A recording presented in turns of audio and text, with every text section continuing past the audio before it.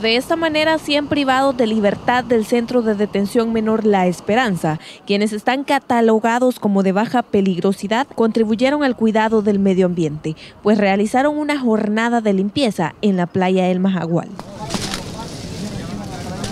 Eh, las personas pertenecientes al programa Yo Cambio estarán durante toda esta vacación trabajando y ayudando a la comunidad y a los grupos protectores de medio ambiente en las diferentes playas del país con la limpieza de las playas.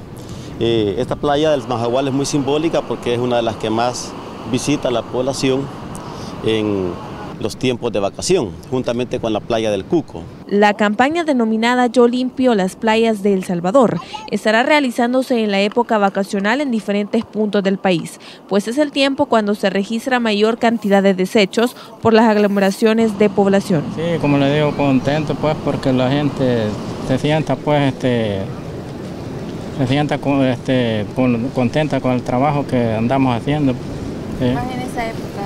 Sí en esta época de vacaciones. Y me siento contento pues porque estamos colaborando.